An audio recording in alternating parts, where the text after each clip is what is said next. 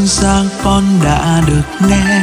Ngọt ngào câu ru yêu thương của mẹ, rằng Việt Nam ta đẹp lắm, anh dụng những cây tre. Sự nghẹn ngào trong con hai tiếng Việt Nam, tự hào hiên ngang màu đỏ da vàng tiếp bước giữ vững truyền thống, dạng lời phi